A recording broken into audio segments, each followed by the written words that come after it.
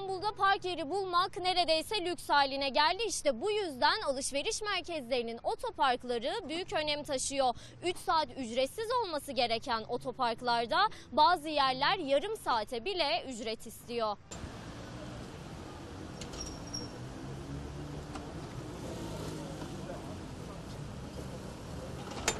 Bundan 15 yıl önce İstanbul UKOME yani Ulaşım Koordinasyon Merkezi 21 imzalı bir kararla alışveriş merkezlerinde otopark ücretinin 3 saat boyunca alınamayacağına karar verdi. Tüm alışveriş merkezlerinde otoparklardan 3 saat boyunca ücret alınmaması gerekiyor. Buna rağmen özellikle İstanbul'un trafik sıkışıklığı ve otopark darlığı bulunan Avrupa yakasındaki pek çok alışveriş merkezi bir saat bile kalınsa yarım saat bile kalınsa ücret alıyor.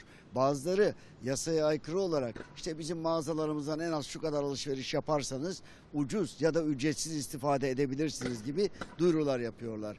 Bu noktada tüketici ücreti vermek zorunda değil. Çünkü tüketicinin arkasında kapı gibi ukome kararı var. Buna herkes de uymak zorunda. Yasal zorunluluk ücretsiz otopark sunmak. Belediyeler bu ruhsatları verirken o alışveriş merkezlerinin o bölgedeki trafik yoğunluğuna katacağı olumsuzluğun giderilmesi açısından ücretsiz de otopark sunmasını istemiş. Alışveriş merkezine gelen veya o bölgede işi olan kişiler yol kenarına kaldırımlara park edeceğine ücretsiz olarak alışveriş merkezinin otoparkına parklarını yapabilirler. Ne var ki buna uymayanlara karşı da tüketici çoğunlukla ne yapacağını bilmiyor. Bazen de 10 lira 20 lira için uğraşmaya değmez deyip işin peşini bırakıyor. Alo 153'e, İBB'ye veyahut CİMER üzerinden yetkililere şikayet edildiği takdirde belediye zabıtaları da işi sıkı tutarlarsa alışveriş merkezleri karşılaşacakları cezalar nedeniyle kurala uymak zorunda kalır. Yani 3 saat boyunca park edenlerden ücret almazlar. Tüketici şikayet etmezse yetkili gelip o cezayı uygulamaz. Ama tüketici ne kadar çok şikayet ederse o kadar çok ceza uygulanır. Cezaların caydırıcı olması için denetimlerin sıklaştırılması ve yapılan tespite göre 3 saatin altında parklanmış her e, sürücüye veya her araca yansılan ücret için ayrı ayrı ceza uygulanması lazım. Bu cezayı uygulamaya Ticaret Bakanlığı da belediyelerde yetkilidir. En kolay yer yerel belediyedir veya büyükşehir belediyeleridir. Bunlara şikayet edildiği takdirde vazgeçer. Etiler'de, Bakırköy'de, trafiğin yoğun olduğu birçok yerde İstanbul'da hala 3 saatin altında parklanmalardan ücret alınmaya devam ediliyor. Birkaç kez bu paraları geri aldım. Başıma gelen en ilginç olay da Nişantaşı'nda bir alışveriş merkezi benden 11 lira tahsil etti. Oysa daha yarım saat veya 35 dakika kalmıştım. Gittim kendilerine yazılı olarak bir ihtarda bulundum.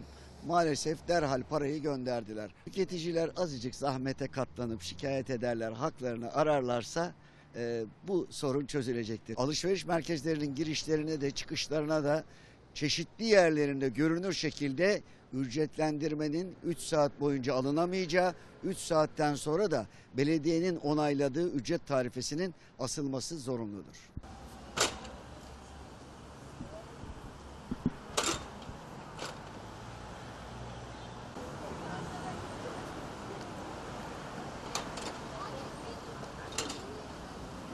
Geçirdiğiniz alışveriş merkezi. 2 saat Ücret ödediniz mi? tabii 30 lira. Yok bilmiyordum. Ödemeden nasıl çıkacağız? Peki, Yok uğraşmam. Yok, hayır, Yok teşekkür uğraşmam. ederim. Çok uzun süreç. Tüketici haklarına başvuracağız da geri geleceğiz de edeceğiz de yani o sırada çıkar gideriz. Ödedik. Ne kadar? 25 lira. Normalde 3 saat ücretsiz. Bunu biliyor muydunuz? Evet ama e, şey yarım saat alıyor. Aslında bence şeyi kaldırmalılar. Otopark parasını kaldırmalılar. Hem içeride alışveriş Bir saate 25 TL ama bir saat için 25 TL çok pahalı bir ücret. Normalde hepsinin ücretsiz olması gerekiyor fakat burada özel otopark yapmışlar ücret alıyorlar. Ücretli olduğunu ben içeri girdikten sonra fark ettim sadece. Ama bence ücretsiz olması gerekiyor. Yani AVM'nin otoparkı sonuç olarak. İçeride yaklaşık 2 saat. Tabii ki. 35 TL. Bu tarz AVM'lerde maalesef öyle bir şey yok. Ama bazı AVM'lerde tamamen ücretsiz. Kesinlikle evet burası biraz daha pahalı. süreç bu şekilde olduğu için biz de artık ödüyoruz yani maalesef.